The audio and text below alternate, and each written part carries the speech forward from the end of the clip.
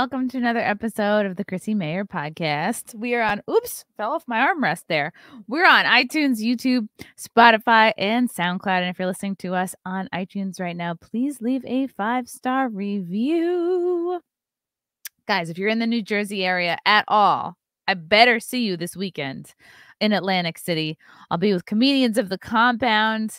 We're doing shows Friday night and Saturday night at the Claridge Hotel down there in AC. For tickets, go to compoundcomedy.com uh, to see the gang all there. Anthony Cumia, uh, all the guys you know and love from Compound, and myself. It's going to be a great time. And then I'll be headlining on Saturday, May 4th at Tiff's Ale House in Morris Plains, New Jersey, also known as the Dojo of Comedy. For tickets to that show, go to my website, chrissiemayr.com. Plus, I got a ton more dates coming up. I'm going to be back in Austin in September. Uh, I'm actually also working on, I believe I'm going to be in the Chicago area on May 27th, doing a one nighter out there. And plus, we got a few more dates in the works looking forward to seeing you guys in person. Um, yes, but for, uh, first, a word from our sponsor. Guys, we all look at this. Look at this music. This is the sound of making money from crypto. Guys, we've all seen so many people making ridiculous money from crypto, but did you know that it's easy for you to do the same? The Copy My Crypto membership site shows you the exact crypto that YouTuber James McMahon personally holds and allows you to copy him. It's like having a big brother who knows what he's doing. You don't have to know a thing about crypto or how to invest. You simply just do what he does. So, I'm going to tell you a little bit more about James. He runs the Crypto with James YouTube channel, which, despite heavy censorship, has over 15,000 subscribers and 1 million views. Since March of 2020, he's told his viewers to buy 26 crypto coins. Had you put 100 bucks into each one, they would now be worth over 20 no, $66,000. It's crazy. It's so much money. Of the 26 coins, his top pick of the year, a coin called Fantom, is currently up around 440 times from when he started. That one call alone has retired people. That means they can stop working. Guys in their 20s and 30s, and girls, of course. Remember, this is all public knowledge. You can go to YouTube and verify this for yourself. So if this is sounding interesting to you and you'd like to join the 1300 members who copy James, then stop what you're doing right now and head over to copymycrypto.com slash mayr. That's spelled M-A-Y-R.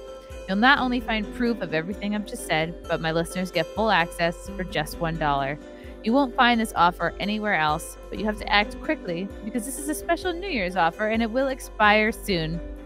That's copymycrypto.com forward slash M A Y R. Don't take this offer lightly. Yeah, get on it.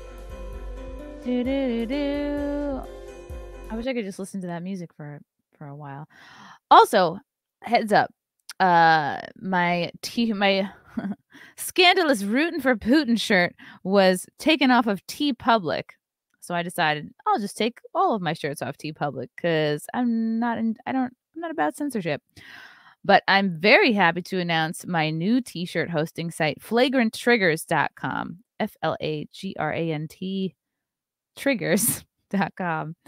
Uh, you can get the Rootin' for Putin shirt and the famous Mayor Mayor shirt in a variety of colors. This 27 bucks includes shipping if you're looking at that and feeling sticker shock, it's worth it. They're very soft. People have been enjoying these so far. So check out flagranttriggers.com and get your rootin' for Putin shirt. Confuse your friends. Uh, or I don't even know what it means. I just think it sounds fun. It's fun. Root root for root for whatever you guys like. It doesn't matter. It's just a shirt. Okay. Guys, I'm so excited to have this gal on the pod today. Um, she is a political commentator. Um, she has a she has uh, been a contributor at OAN, and she's my first Brazilian on the show. So excited to have her on today. Julia Song, hello, how are you? Welcome, hey everyone. Oh my God, Thank Julia, you. you're my first Brazilian. And she asked, she was like, Are you going to ask me to do to dance the samba? And I said, No, but now I have, now you've planted a seed. yeah, I'm giving you ideas, but yeah, usually that's what people say. Um, no. That that must feel like I don't know. Yeah, that's probably the equivalent to when people meet me as a redhead and the first thing they say is do the carpets match the drapes? Which I Right. yeah, and I go, "Wow, okay, you know, you you might not be lucky enough to ever know." Usually my answer to that is I have hardwood floors. That's usually my go-to. But then it I'm gets gonna have to think awkward. that one. Yeah. Hardwood floors. Or sometimes people think I'm Irish, uh, and they ask me if I know how to step dance, so I know how it feels. Um, Julia, tell me about about yourself. Um, what is it like? You're you're from Brazil, and actually, this is a this was a pinned article. Um, I know it's from a little while ago, but I just found it so interesting. This was on your pinned on your Twitter. How socialism failed me as a woman and ruined my country. Uh, this is from a couple years ago, but yeah, tell us a little bit. How long have you been uh, here in America for? Um, it's about to be eight years. Wow.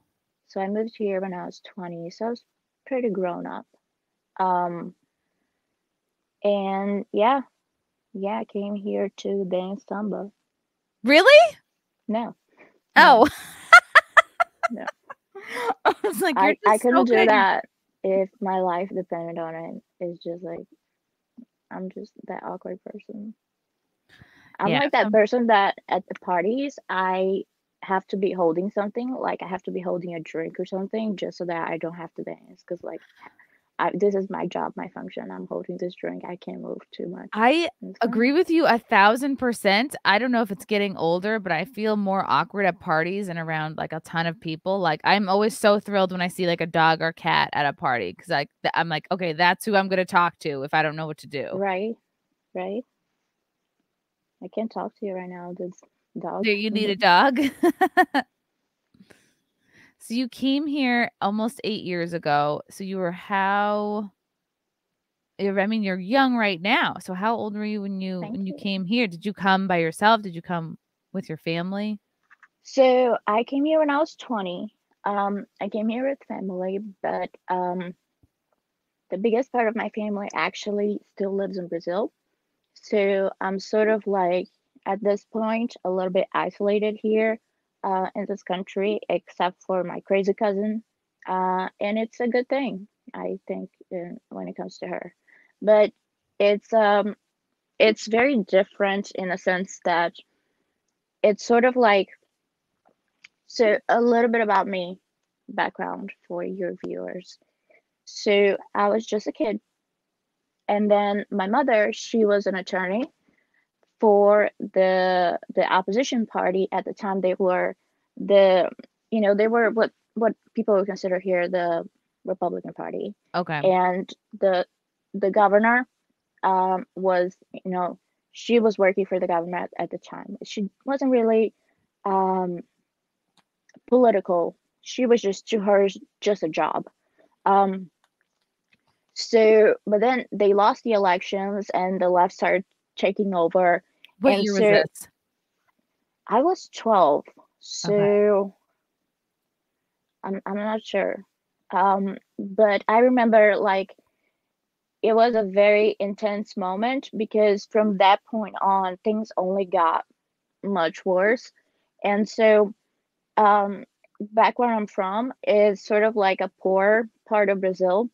There isn't a lot of industry. There's mainly just tourism and um and the government. So you have to sort of work for the government, but she couldn't work for the government because she was blacklisted. She had worked for the opposition before.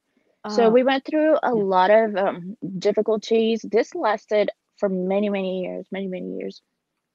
I went through a lot of difficulties.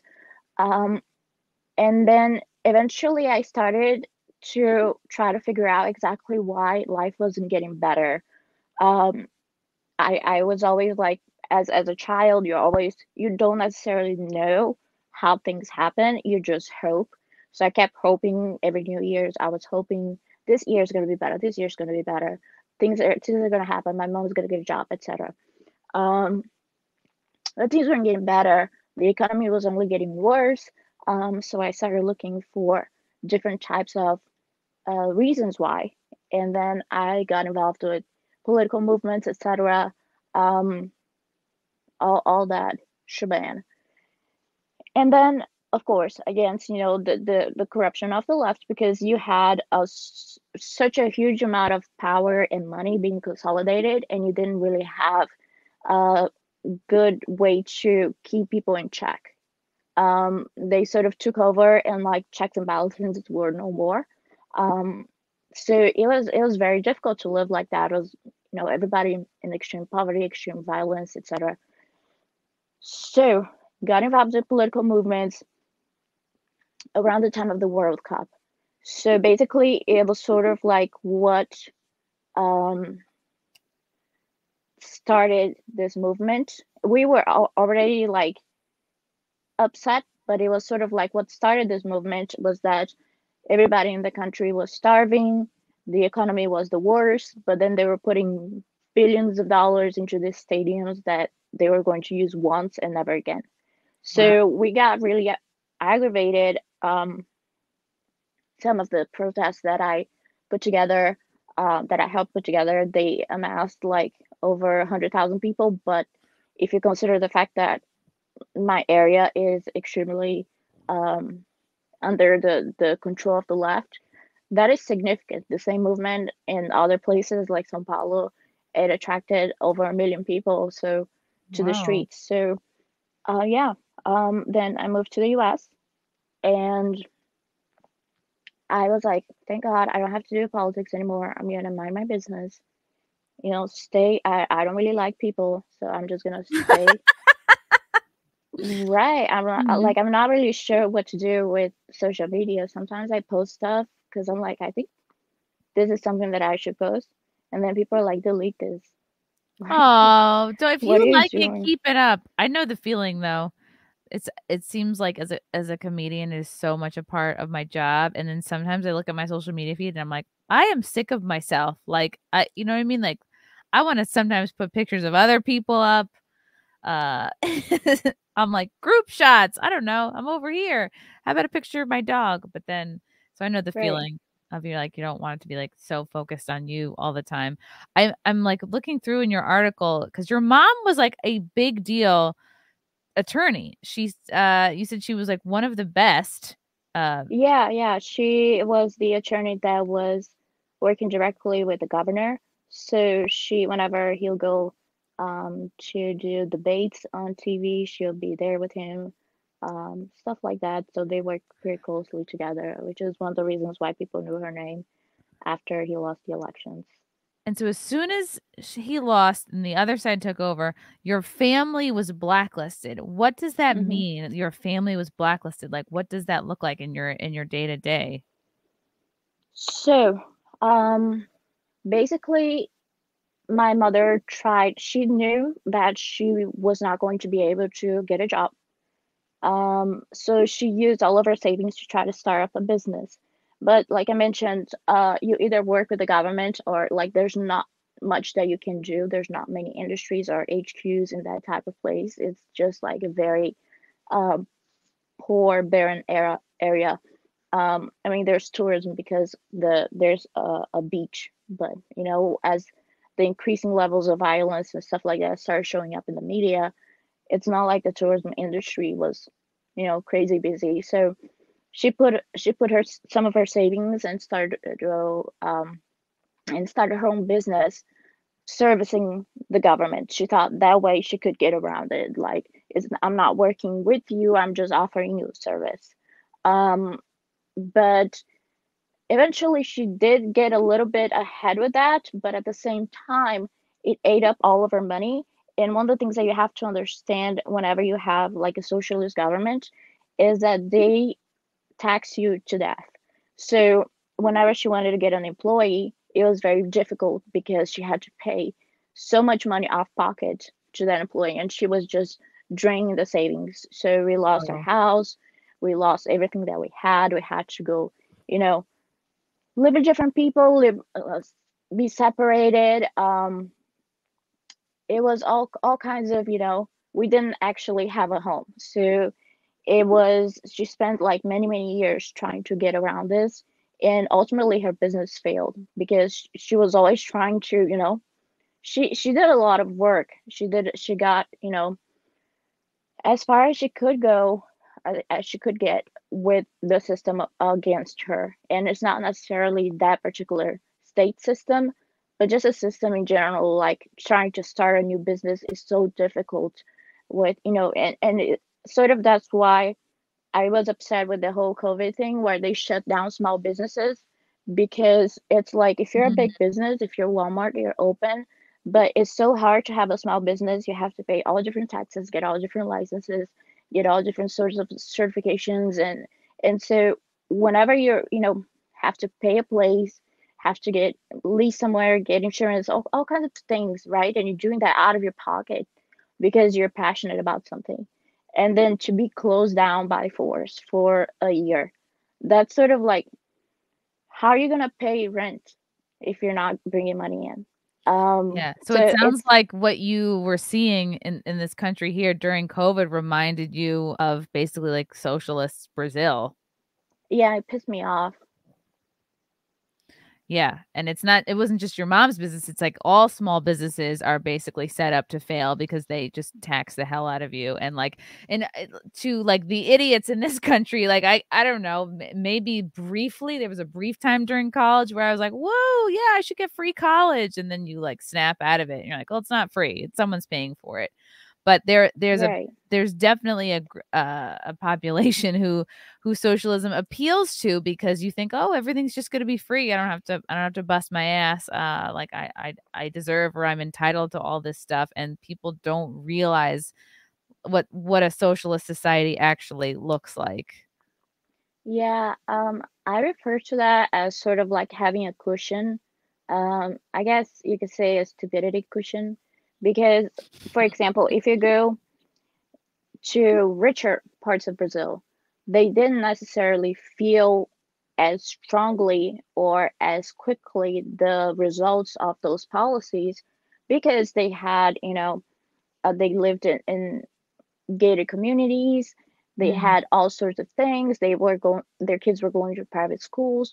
So they didn't necessarily understand at first the impact that socialism was having on everyday people.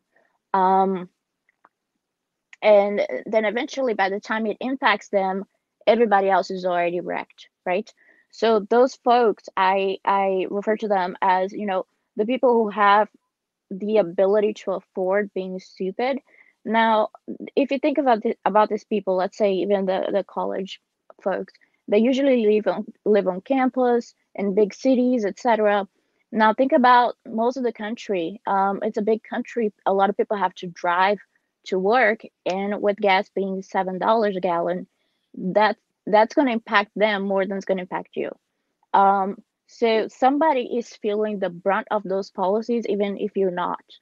And by the time it does get to you, then we're all going to be, you know, it's it's going to be crazy. So I really hope that people can just not so much like look at themselves or what they want or what they think is best, but look around and ask questions.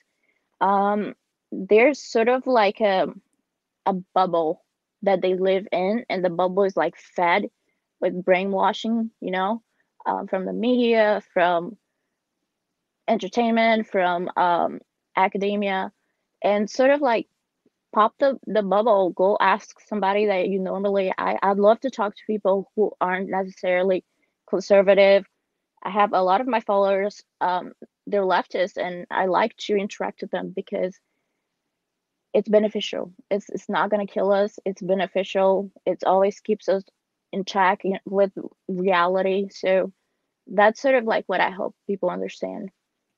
Yeah because you're um like you're easy to kind of like approach. I mean, obviously, this is the internet, like no one's physically approaching you, but like you're kind and you're sweet and you're like, this is my story. You know, it's like uh you're not intimidating at all. And I think leftists that are kind of living in this bubble get, get living in this bubble can be like, oh, here's this like this girl has really lived it. And just because your mother was a lawyer and worked for the opposite political party as soon as the other side took over. You said you you went from my mom was a lawyer, which is a, fan, a fantastic job, I think, to have just about in any country. You went from like, yeah, my mom has this great job to homeless in a matter of Mhm. weeks, which is an ins- a crazy thing to go through, and Yeah. and especially as a child, and hmm that must have had such an effect on you. I mean, was it was it just you and your mom, or My brother. and your brother? Okay, so Yeah, my brother's a couple years older than I am. Um, there were several impacts, like getting, um, I know I spent my 14th because uh, over there you have to be at minimum 14 years old to work. So I spent my 14th uh, birthday at the, um, you know, the the clerk facility. The I don't know what they call it here, but it's like a facility where you go to get your works permit. Um, okay, and of course, you know, I had to get in line at like 5 a.m. Um, great okay. stuff about, you know, government funded type of things is that you get to go on a two block line just to wait for a service that, you know, I got out of there at 5 p.m. Like as they were closing, they were pushing me out and I'm like, I'm not leaving until I get this document. just to get a work permit. Yeah, yeah. So my brother working, my mom searching for things. I was working as well and going to school. Was your And dad uh, around too? Did you did you say? no, no, my dad and my mom, they were separated. So he wasn't part of my mom's life at all. In fact, things weren't even better for my dad. So it's not like he could help. So Okay. Yeah. it's okay. And also I am um, you know, officially according to my driver's license, five foot two. So I am a little bit short, and which means I am extremely feisty and intimidating. I'll have you know. You do have to be feisty and intimidating to make up for the lack of height. I, as a five three person, I I agree very much. Right, right. Mhm. I have to. I could. I could be even. I could stand to be even feistier. I think. Um. So, how long were you guys uh, homeless for, and and what did that look like, and like where did you stay, and how did you, you know, eat and all that? Um, so that's sort of like a big answer. So we were homeless. Um, I was because the thing is that a lot of the times I don't I don't know if I can explain it in a way like if you say like I volunteer at the shelter and a lot of the times dogs couldn't be adopted because they were a bonded pair and somebody just wanted one dog but they couldn't take both but those dogs had to be together because they were a bonded pair um so uh, it's very difficult for you to find a place to stay if you are attached to people. So if i'm attached to my mom if i'm attached to my brother. So we had to be separated several times. So i would go live with you know a friend of a friend or you know the streets or whatever or somebody will pick me up. Um this one lady she was um she was the aunt of a girl that was dating a guy who was friends with a friend of mine. Okay. and now you think about these places they're not like awesome places. Like they don't have a ceiling. They don't have you know stuff like that. But I, I'll, I'll sleep there for a little bit and then move on to another place. Um, but yeah, um, so I basically stayed like that for about six years until I was like 18 or so. And then Wow. my mom, she probably like six and a half. Yeah. She finally managed to get, um, after all of that, she managed to get a job and uh, of course, with the government, but it wasn't like a, a well-paying job. It wasn't anything great. It wasn't like, you know, this is a lawyer job. It was sort of like a clerical job, Hmm, but it it allowed like her to, it was like a step down for her. Yeah. yeah, it allowed her to, you know, just have something of her own. So that was fun. That was so much fun. Think about it, girl. So you, much fun. So many adventures. so you moved here in 2014, And you said as soon as you got to this country, you were shocked to find America. Uh, to you, it seemed like a country yearning for the policies that my home country was struggling to get away from. How, yeah. In what ways? In what ways um, were you seeing that here? So in Brazil, I felt like I didn't have any other choice other than to get involved in politics. So I moved to America, and I'm like. I don't have to worry about any of this. I can just have, if I have a social media account, it's just gonna be an Instagram account, share pictures of, you know, my cat. Um, nothing, you know, all this is behind me. And then it was around um 2015 or so. So 2014, I was getting my footing. It was late 2014. Around 2015, as we were preparing, um, middle of 2015, we were preparing for the 2016 um, elections. And I saw a lot of peddling from, you know, Bernie Sanders, Hillary Clinton talking about a lot of these things like, oh, we want to have free healthcare. There's no reason why we couldn't have free healthcare. And I'm like, girl, uh, I just came from this one place and believe it or not, they have free healthcare and uh, no thanks. Like like I don't want it. Like by the time you were waiting in line out on the sidewalk around the, the block with like hundreds of sick people, by the time you actually manage to get through the doors of the hospital, it's like I'm healed. like I'm yeah, healed or you're over it. So it's like it's like literally imagine you guys like in this country the worst thing we have to sit in line for is like the DMV, but that's like an hour or two, you know. Um I think voting is probably one of those things. It's like, okay, you wait in line for a couple. I, I know this, especially in like 2020, we had to wait a very long time to vote, but it's like uh, those experiences it, are great to me. I just, you know, I couldn't even believe it. I took the whole day off of work because in Brazil to vote is mandatory, and if you don't, you have to pay wow. fines, and then they start to, you know, all kinds of things um, sort of like you're not able to renew your passport if you haven't paid those fines, if you haven't voted, if you haven't explained yourself, even if you live abroad, which is something that I figured out later down the road. But anyway, um, it's mandatory for you to vote. So imagine everybody from everywhere just going to the same place to vote. Um, so everything is just chaotic. There's not really any choice about anything.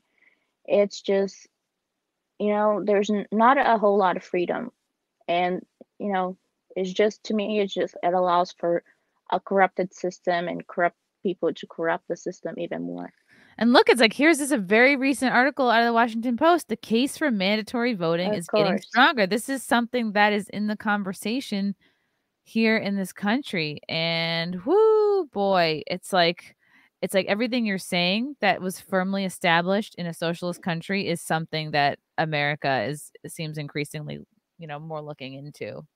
Yeah, the thing with mandatory voting is like voting is already pretty cool. Like I went there mm-hmm, and yeah. I voted, took my dog. We had a blast. Um it's already cool. Like you're doing your civil duty. Whenever you make voting mandatory, um you have to make a, a penalty to make something mandatory. It, it has to hurt people somehow. So how is this going to hurt people? Is it going to hurt them by fining them, by making sure that they don't receive a certain amount of uh, their tax returns, or making sure they can't renew their driver's license? How exactly are you going to keep this uh, a mandatory thing? And so, if somebody is unable to vote, then they're going to vote by mail because they have to vote. They absolutely have to vote. Um, the process to go through and explain your absence is sort of a little bit more complicated.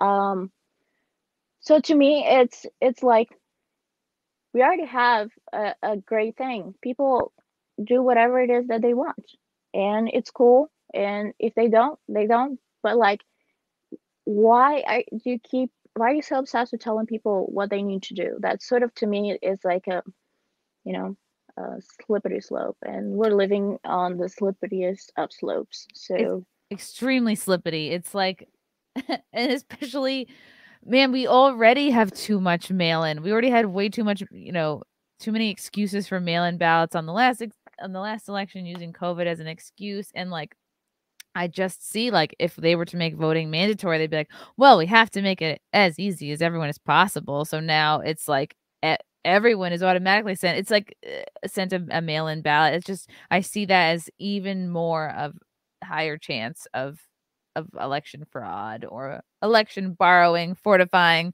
whatever we want to say. Um, because the yeah. more mail-in ballots that are out there, the more shenanigans that can happen.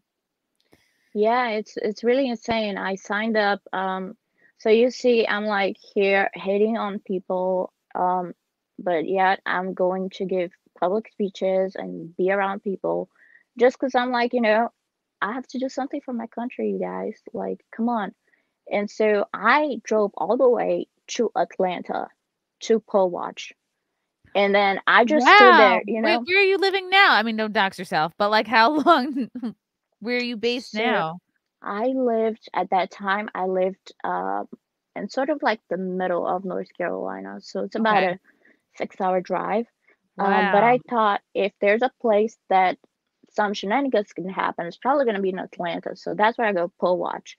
And then I just stay there, sitting on that chair, just looking at people and people looking at me, and I do nothing. Um, for the longest time, you can't be on your phone. You're just sitting there, just you know.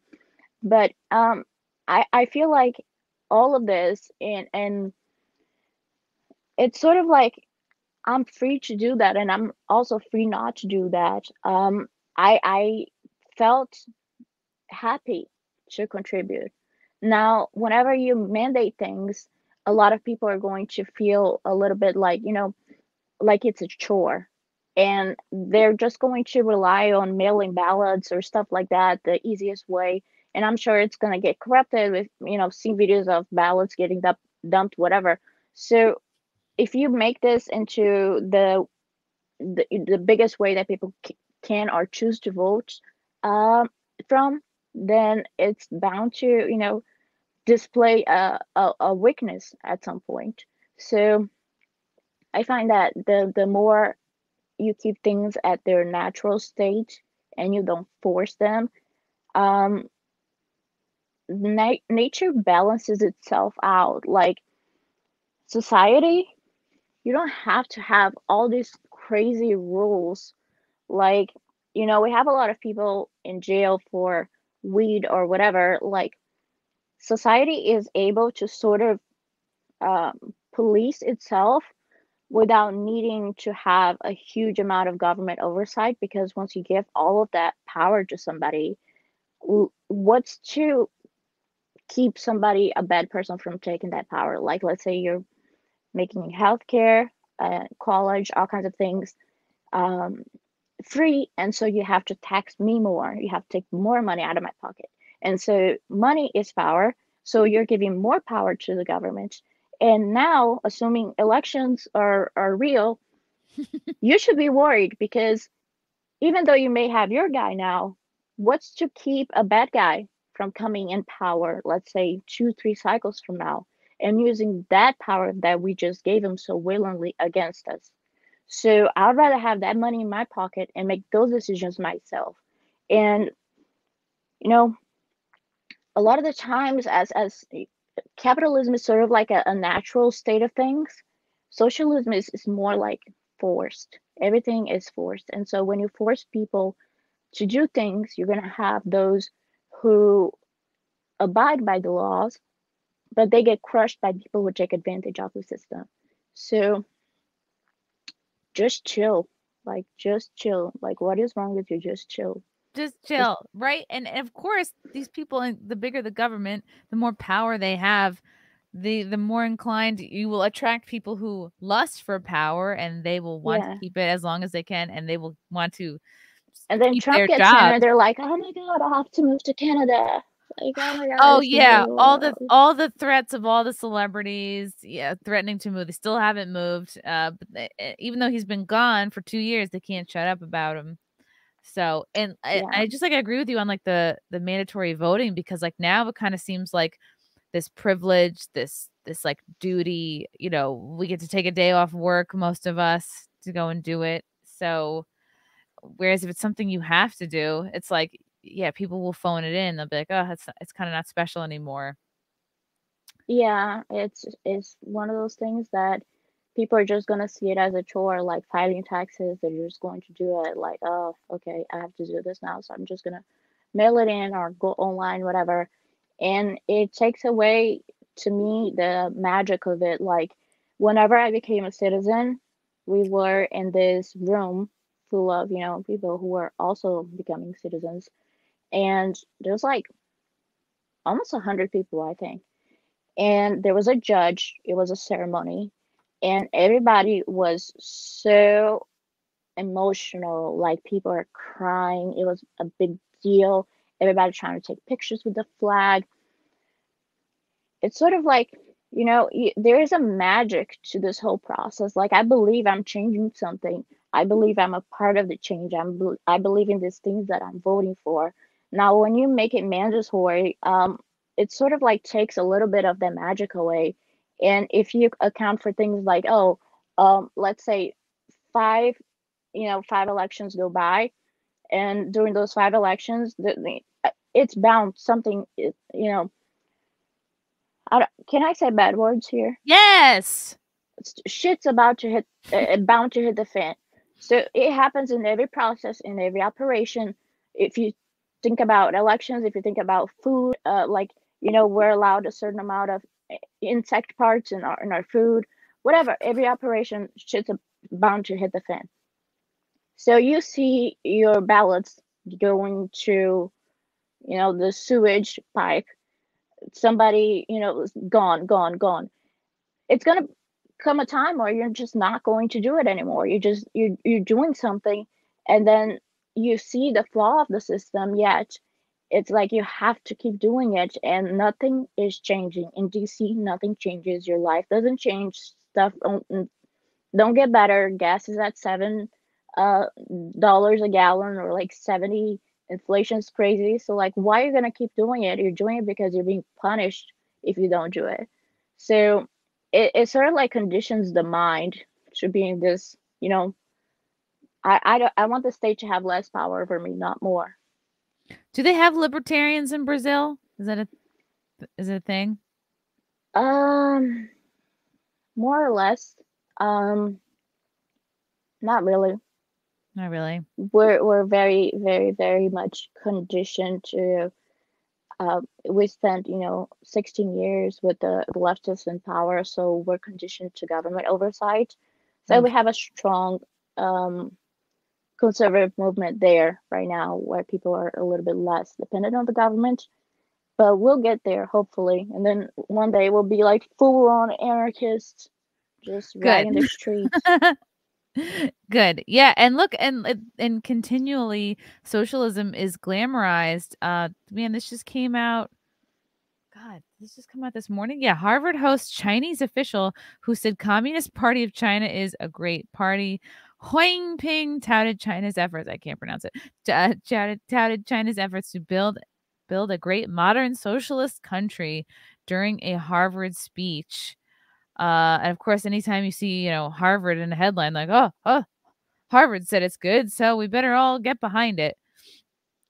Um, right. this was a like what it what is I don't know what is someone from the CPC giving a speech at Harvard? Like, get out of here. Uh, I find the title of that article to be hilarious. It's like the guy from the Communist Party is saying how the Communist Party is great because like he has a you know a, a gun to to his back like what is he gonna do? He's gonna come here and say that the the Communist Party sucks, and then his whole family is kidnapped back home, taken to a a camp or something. Like, oh no! It's, yeah, it's it reminds me of like um, I love it.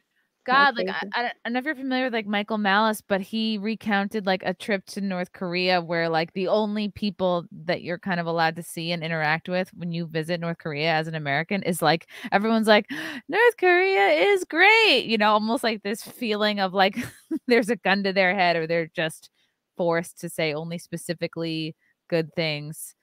And uh, right, they love it.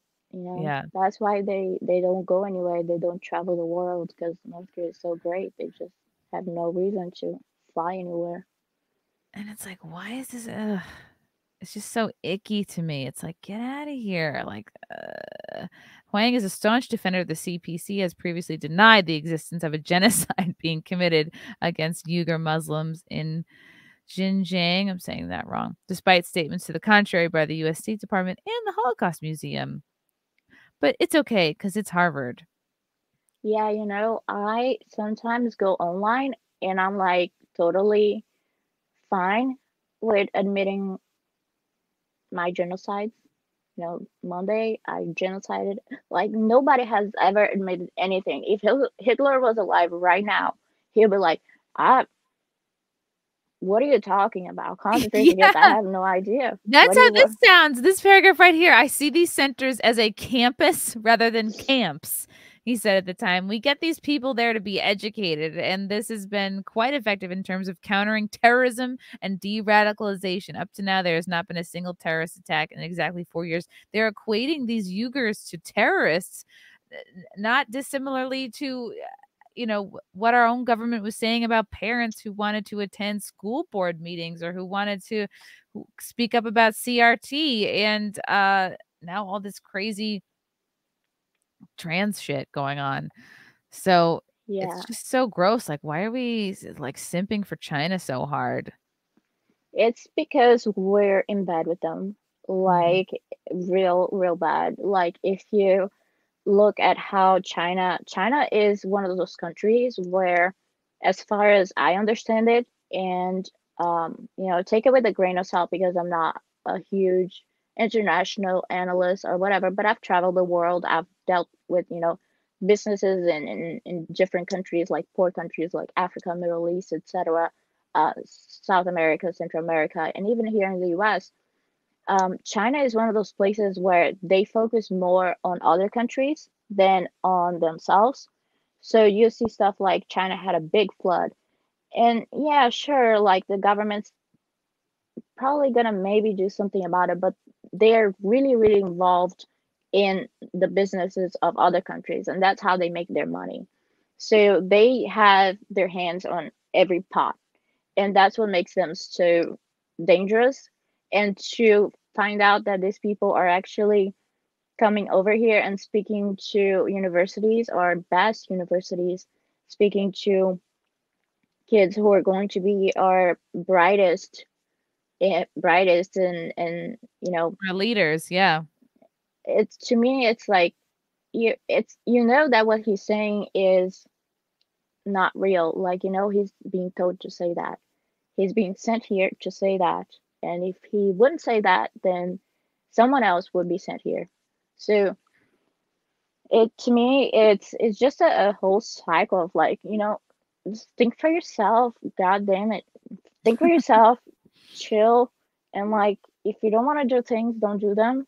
And that's it. Like go live your yeah. life. And Stop and if you are people and if you're not on board with this, you're you know, you're thrown insults at you're a racist, you're a bigot, you're a white supremacist. And even here, American society has always advocated the spirit of diversity and inclusiveness. And they equate it to diversity and they're equating basically like the slow death of America and Chinese takeover as like this is diversity and inclusiveness, like all this woke talk about like fucking equity. It's all just bullshit. Uh, but there are also some narrow minded people, I guess that would be us, who find it difficult to accept those countries with different histories, cultures, and systems from the US. He said they always point fingers at those countries and want to change them. It's like there's nothing wrong with wanting to put your the best interests of your own country first. And then he goes on to say the path of socialism with Chinese characteristics is rooted in 5,000 year old Chinese civilization. It is the choice of 1.4 billion Chinese people. Really? Is it the choice of every single person who lives there? Okay. Yeah, this is very propaganda y. Propagandish. I think I'm having like a stroke. Like, what are oh, the no. stroke? like, yo, yo, bright. I don't, don't have a stroke. Don't have a stroke. it's just so amazing. It's like mind blowing. I've had a chance to go through the Hunter Biden's laptop. and really? Like yeah, through yeah, it, through was, it. Yeah, I was posting some of the stuff that I found on it, and it's just very weird to me. Like, first of all, he is involved with business with China, immensely. And I'd love to know how that affects, you know, our relationship with that country and the presidency currently, because there's a, a gentleman called Jonathan Li who is a businessman in China. And, you know, all these businessmen and stuff like that, they're very much like bonded to the uh, Communist Party. So this gentleman called Jonathan Li, and they will have this uh, Americanized first names, which is like not really their names. Like this other guy is his name is Patrick Ho. Um, but anyway, this is the Jonathan Li. I mean, it, it sounds like a pretty common name. Yeah, so it's Lee like L I. of course, the more Asian way.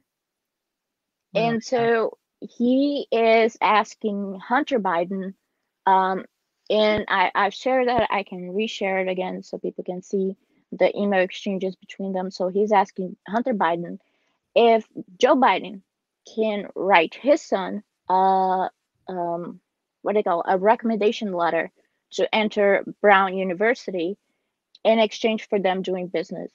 At a minimum, that's sort of like to me unethical. Like Joe Biden doesn't know this kid. He's doing that no. because Hunter Biden is doing business. So he's like he's using his uh, at the time his VP influence to get this.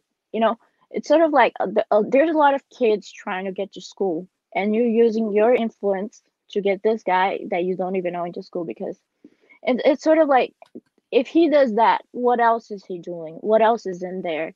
Um, there's this this contract that I've exposed between Hunter Biden and a member of the Chinese Communist Party that he paid um, a million dollars minimum of a million dollars to Hunter Biden for his legal services. Um, in you know legal services and what, what was the the wording? I have to legal oh, like a, a consultant yeah and trying to navigate through the us legal system and so okay so hunter biden is not only a very great artist um he gets millions of dollars for that he gets millions of dollars for his business knowledge you know you think about burisma you think about all these different companies how much money he's making he's not a great accountant because he does skip on paying a lot of taxes um but he is also a great lawyer. I mean, he's getting all these contracts, millions of dollars. That's amazing. You know, I, I posted on Twitter. I was like, like some people they aim to be successful at one career. This guy, he's like, while he smokes his crack pipe, he's simultaneously great at like three, four different careers, getting millions of dollars from each career. That's he's amazing. a triple th- he's a triple threat, Julia. He yeah, he's a Ukraine uh, oil executive. He's a painter, and he's a he's everywhere. He's everywhere. like he, yeah. If you think about like places like Colombia, Brazil, Oman, like the dude is literally everywhere, and that's in every time that he's in a place like that, it is in relation with a business deal that he has with China. So it's just to me is is is amazing. I mean, I whenever I, I I don't look for legal services often, but when I do, I like to have crack addicts as my lawyers. I think that they are very reliable people, and you know, I'm I'm willing to pay millions of dollars for their services. It's amazing. amazing. How did you best. get um in a place where you were actually like reviewing Hunter Biden's laptop? That seems like super top secret. Yeah. Um, so there is a lot of trickery that you need to do because, first of all, I don't know what's in there, right? When I'm getting into there, I don't know if there could be child porn, if there could be all, there's a lot of personal information that somebody shouldn't necessarily have, like, um, let's say Joe Biden's cell phone number. Okay, right. Um, so, you know, I didn't really want the Secret Service knocking at my door. They might, but I didn't want them. You know, it was the weekend, whatever. So you have to make sure that these things whenever you're opening these things on your machine, uh, you're very careful with how you open them and how you examine them because you never know what you're gonna see. Um, but then I just partner. I decided to just because the the technology behind it was so time consuming. Like you have to go through, you know, lengthy levels of trying to protect your machine. Um, so it was very time consuming and it's something that I had to redo from the beginning every time over. So I partner up with this project called Marco Polo and they basically have done a full review because we're talking about like hundreds of thousands of files. Like you have all of his text messages, you have everything that he's ever like emailed, all, all of his contracts, his pictures, etc. So it's a lot for one person to cover. So I decided to just partner up with them because if they're, you know, going through the technology trouble, then I don't have to, you know. I got more time to watch Dragon Ball. So Oh, okay. So Marco Polo is a research group um, exposing the corruption and blackmail Everybody should check out their website. They release a lot of this content, so you don't have to like worry about you know what you're gonna see in, the, in your machine. They come through it and they release what's important. So Okay, so this is Marco Polo USA.org, a nonprofit research group exposing corruption and blackmail to drive an American renaissance. It says report on the Biden laptop. Oh my god, I'm clicking on it. Ah! Oh, oh, okay. You can just click on this and then Wow, they kind of okay. So they've sorted through a lot of this. Mm-hmm. Oh, Ashley Biden, Ashley Biden diary transcribed, which for how long they were saying wasn't real, and what like James O'Keefe, they, I mean, right, they went after him pretty hard for for them even mentioning it. Okay, wow, the cocaine saga. I haven't yeah. seen that one. Oh my god, Hunter and Hallie. That was what uh is Hallie uh the relative or the um the brother's wife? Here, let me read to you this one um like a bedtime text story. that he sent. Okay. He's he sent this text to a guy. Um his name I have to, I have to open my Telegram channel because it's I don't keep these things on my phone. Okay. Uh, he sent this message to someone that I, some number that I'm not gonna say because it's okay. Yeah, yeah, of course. I don't yeah. know who, who, but then this other person, Keith Ablow, who was apparently in a lot of trouble regarding uh, sexual predation. Um, I think he's a a doctor, and he was like predating on his patients like don't quote me on it i'm not i'm not that involved that interested to but but that's after i reported on it that's what people told me so if you research on keith ablow and his scandals you'll see But he's talking to him. And he's like last name? Ablow a-b-l-o-w ablow okay. So like yeah, i don't know if you can see it here. I drop my phone every now and then. But basically, this is, and you can find this on my Telegram channel, everybody. Um, I reposted anyway, just so it's right on top. But he basically complains that he's not allowed to see Natalie. Like, um, she has told them I'm a bad influence and I endangered their health, that I have been sexually inappropriate with Natalie, that I have physically abused her, that I have emotionally abused her and that I'm abusive to everyone around me. Um, Natalie is not even around. Like Natalie were allowed. If Natalie were if Natalie were allowed to come visit me, I would be walking around naked, watching porn and masturbating and doing drugs in front of her. So he's saying that Natalie is not even allowed to be around them um, without the presence of another adult. So Damn. it's um, you know, it's, it's hard to great. believe. It's it's like really hard to believe. Like it's so easy. Like we've all seen the memes and like the the, the photos of him in the bathtub with the crack pipe, but to actually like hear the things that you're saying, they're like, no, these are his real texts. This is how he communicates. It's It's like kind of shocking that that it's so real. And uh, Some so of those things are funny as hell, but like- yeah,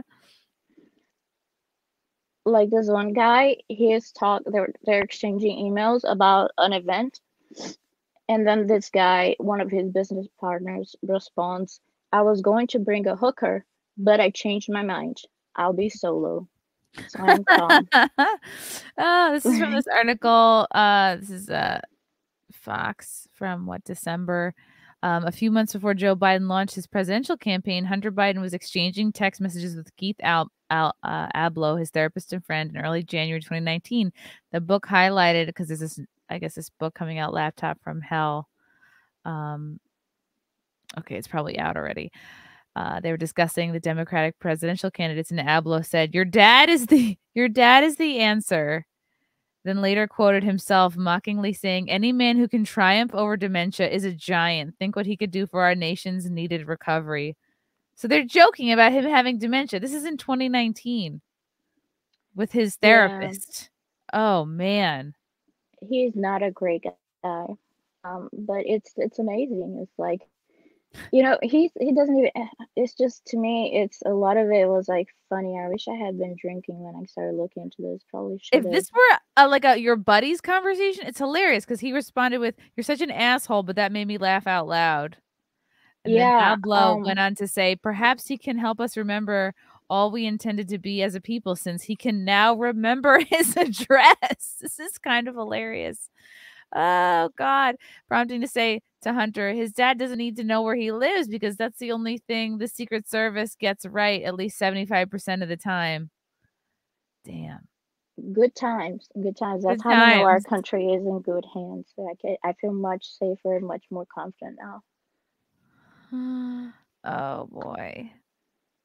This um this one exchange that he had with his business partner, this is the guy that he does the most amount of business with. And then this guy emails him and says, Hunter, we just got a check for 21,000 from Eldora, which represents our, our fourth quarter distribution from them. And then Hunter Biden replies, if you touch one dime of that money, I promise you. this is like, this is just such a, to me, it's, it's sad. It's sad. If you touch one dime of that money, I promise I'll file a lawsuit against you on Tuesday. Promise, Eric, no more of your bullshit.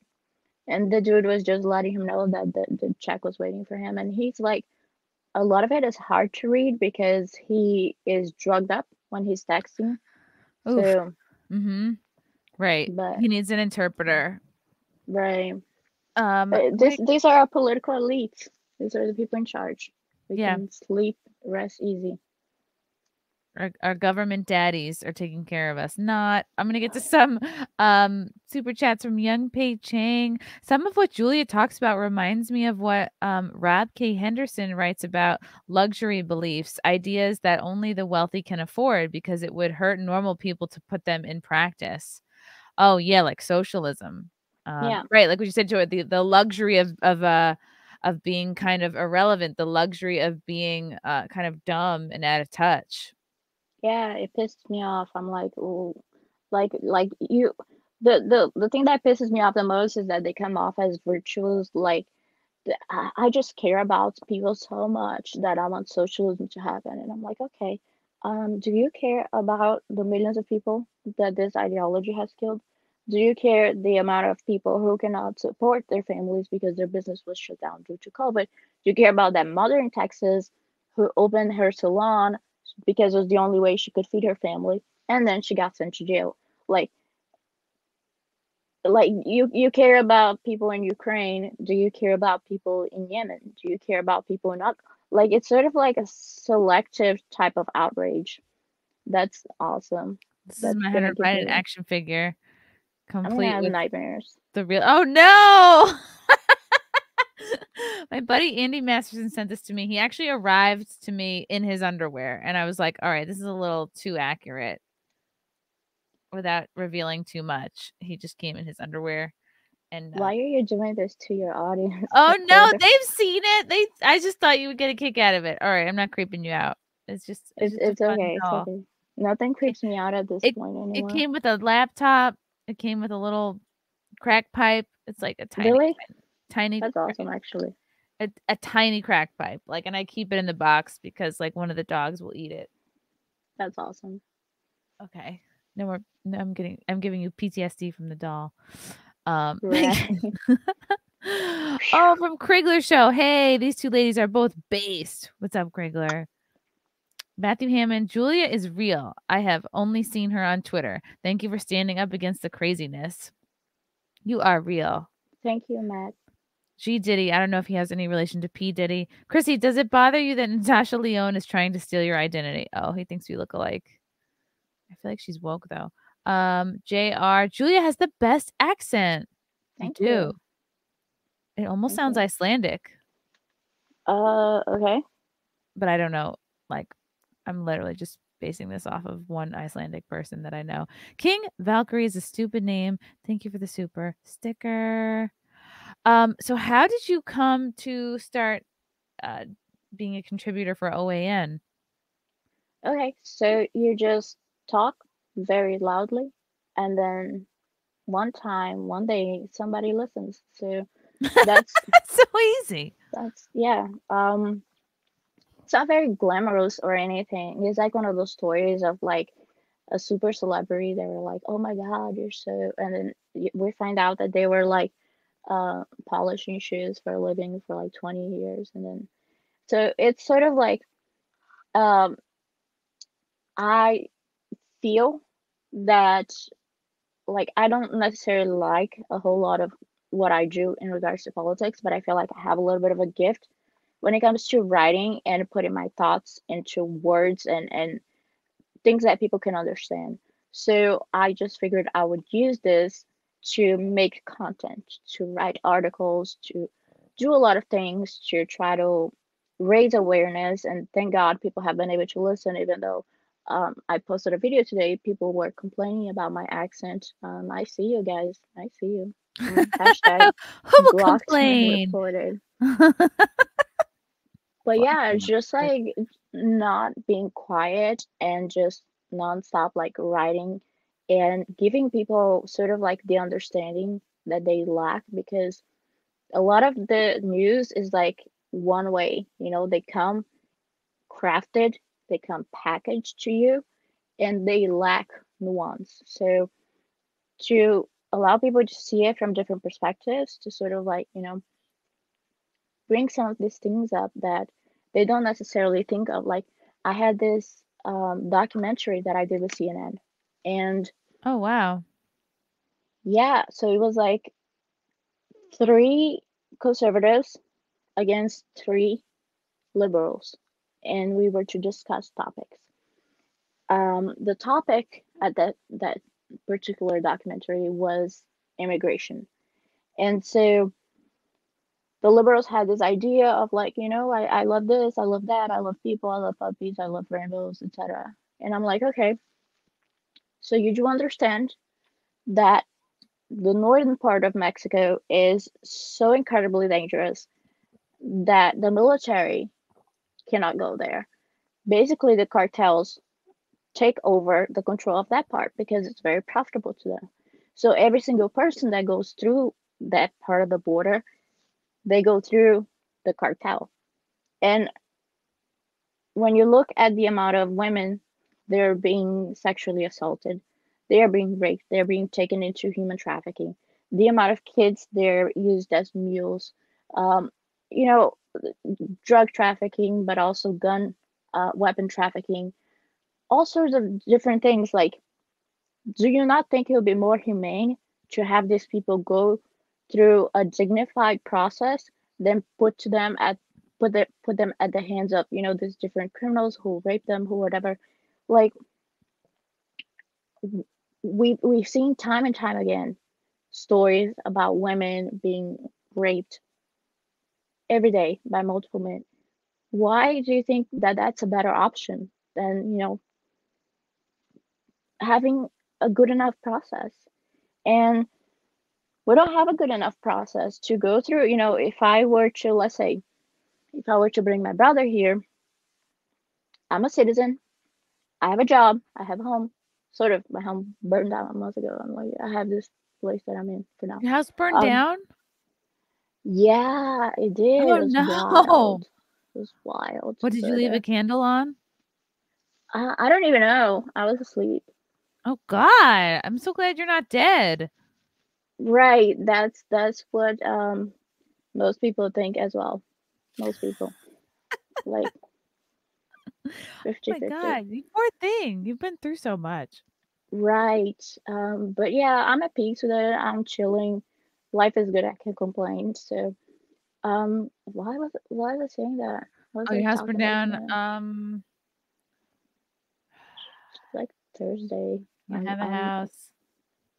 Blah, blah, blah, blah. Let's just lose that train of thought. Let's just So you said you had a go. friend whose dad actually kidnapped his child. Oh, no. I thought somebody in the chat was reminding you of your place. Oh yeah, yeah. So like we have all these different situations of people getting there's a like a line over here. It's not a I don't have a forehead vein, you guys. It's just like A shadow. Um, yeah, just a shadow. Calm down, people. It's not like I'm not r- enraged everyone, here. yeah, everyone calm down. Um, but it's like we've seen so many cases of women um being raped, etc. Mules of drug trafficking. Like, oh, oh, okay. I have a house. I have a job, and I'm a citizen. If I wanted to bring my brother to live here, my brother is extremely smart. He is not reliant on me. He has his skills. He has whatever. He'll be a great addition to this country. If I were to bring him, even if I sponsored him, the process would probably take around 20 years. So- Whoa. we're sort of like instead of if you want to solve the immigration problem why aren't you talking about the fact that it takes 20 30 40 50 years for somebody to go to go through the right way forcing them to go through the cartel through the borders and then after they come here then they're now undocumented so it's not like they can't get a normal job they're you know more subjected to different you know uh, um people taking advantage of them, working them to death, like all kinds of things. They're very vulnerable. Why don't we bring them? You know, if you really want to bring them, why don't we bring them the right way? And then you can't because it takes decades to process people. Now, why aren't you talking about that? You're talking about, you know, it, to me, it's like, and and eventually, um, uh, one of those people. Well, the one liberal the one guy was really old, maybe he's like dead now. The other lady, she was radical and we're friends. She's cool. Sort of. Um yeah, she liked me as much as she could like me. Um and then the other one, the other liberal is actually a conservative now. And she said some of the stuff that I brought up made sense to her and she had never thought about it before and then she started thinking about it and doing research and stuff like that and realized that hey you know if i really want a solution to this type of problems you know it's like if you want to help save the world you have to first help your mother clean the dishes. Like how can you I help love that. That help sounds so Jordan Peterson esque, you know? Yeah. right. It's like our country has so many issues and you're talking about helping ukraine. Like no thanks. I want to help america. I want to make sure that it's just so much like hypocritical double standards. Like there's this guy he died um not a lot of ceremony around it me throwing this out there i'm not a great you know uh I'm not great at br- bringing up news and stuff to people, but he died. Um, and he was black. He was a young man, black. He was going home to his family, his fiance, his little toddler. Um, and on his way home, he was killed by an illegal alien. You will never hear his name. He he's it's like he doesn't even exist. And his mother whom I got really close because I was the one trying to get her story out. She was working so hard to try to get some sort of justice, some sort of closure and the police was like pushing back because this was this happened in Raleigh where the the sheriffs got elected based on their promise of not working with ICE. So if the sheriff is not working with ICE, they have to be very careful about wow. how they, you know. So it's sort of like she she herself was a former liberal, but she started seeing all of these things and she's like, I don't I don't agree with this. And it impacted her life. Um directly. She was just fighting against the system until her last breath, and then she died recently last year. And mm. it's just, you know, overall very sad situation. Now the person who did kill her son is out there and is free, is walking around. And we don't necessarily I mean we know his name, the name that he gave, but we don't know exactly, you know, the story. His past. We don't know he could be somewhere else under a different name. He's just walking around and it was a very brutal um like the the guy that did get killed um his head was like a block away from his body. So oh god. you, but but you haven't heard about it right? So to me it's like i care about it. I i i was at his vigil. I i met his mother. I care about it. Why don't you care about it? Like why is it that this person to me it's like you know it's, it's sort of like they're just trying to virtue signal. Of course that's, like that's they're not going to highlight a death unless it fits their narrative. Yeah it's cheap. I don't have time for it. Like fuck off. Exactly. It's, but you're changing it sounds like you're changing lives you know it just takes one person's mind you know to, to open up on something to have a, an amazing ripple effect so um, yeah, hopefully. I like your style. So you, so when you say you were just loud and and OAN just found you if you're loud, like did you was it a particular like tweet or a story you had written that grabbed their attention? Girl. Um what what do you mean? Sorry. Like like loud? how how OAN um like oh, how you kind of started um, being a contributor for them. So the way that I started was that I initially had a political Instagram page and then I got sick and tired of it because to me it's like Instagram is stupid. So I decided to have a Twitter page. And so I got close to some people on Twitter who at the, the time there was a lot of censorship happening and accounts being deleted. So they and I already had a good amount of, you know, um, clout on Instagram. So I was like, all right, I will promote your Instagram, your new Instagram, if you promote my new Twitter. And so that kind of happened. And then I got a lot of um, good people reading my my articles. You know, you you gotta do the footwork. You gotta just email people. You gotta go after. You gotta say, hey, I just wrote something. Um, take a look at it. What what do you think? And a lot of these things unfortunately a lot of these things they did not get published. Um but you keep on you keep on going. Uh there's this this one story that i thought was awesome but didn't get published because they told me that it missed an an arch. Oh an arc? A story arc, arc or something? Okay. it, something like that like arc. Like okay. I'm like i have no idea what you just said but thank you for your time. You're missing an arch. yeah. like we don't You're funny. You're like low key so funny. Yeah, I try. Not really. Maybe. Just a little bit.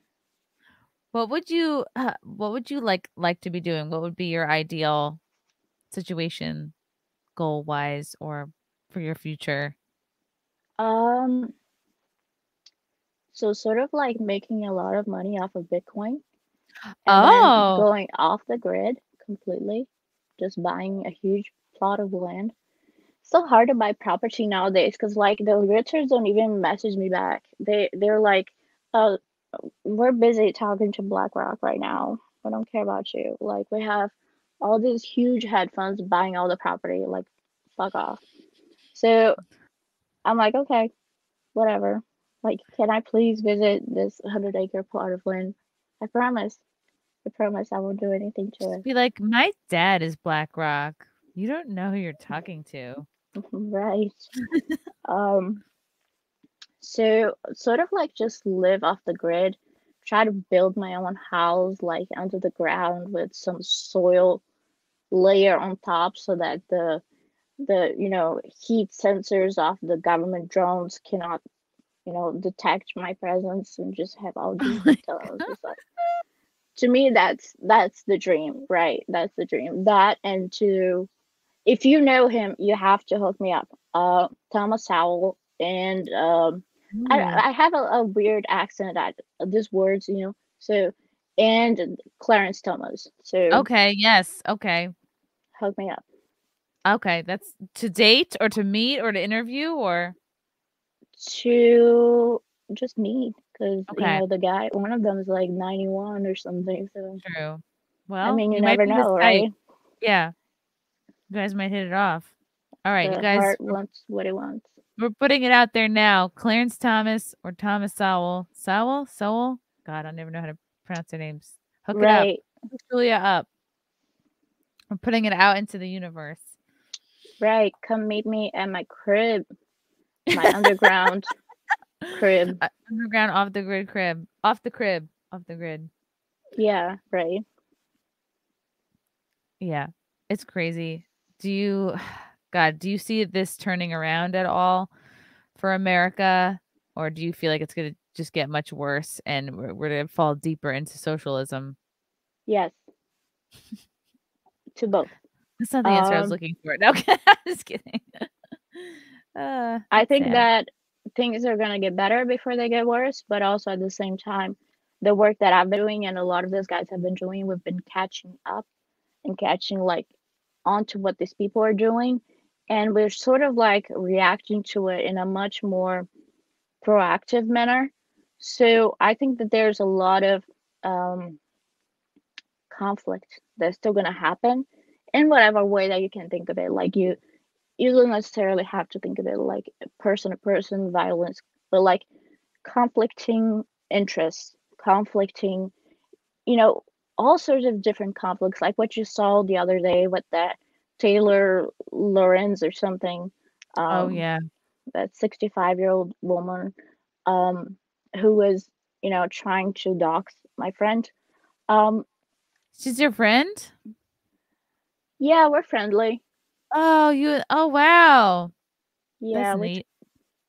pissed me off even more about it. Um, I would like to interview her one day. I'm sure she gets so many offers. yeah.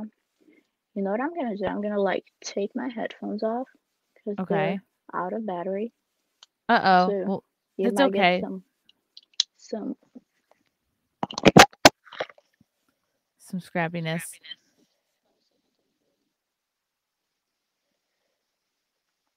Wow. Yeah, Taylor Lorenz. She's wild. Oh, I'm hearing an echo. what was that? I think I'm hearing an echo. It's Yeah, 'cause okay. I put you in the box and the box I- was like still going on. Oh no, it's okay. We're about to wrap it up anyway. Um, Julia, I adore you. Thank you so much for coming on and chatting with me. Uh, where can people see more of your work and uh, follow you on the internet, etc.? So everywhere I am at Real Julia Song. If you type that into a social media website and you do not see me, it's because I'm not there. But I'm most active on Twitter until they ban me and on Telegram until eternity. So just go follow. I post some really good stuff, some bad jokes and pictures of my pets. I love all of those things. Uh, thank you so much, chat, for your comments and questions. Until next time, guys. Bye.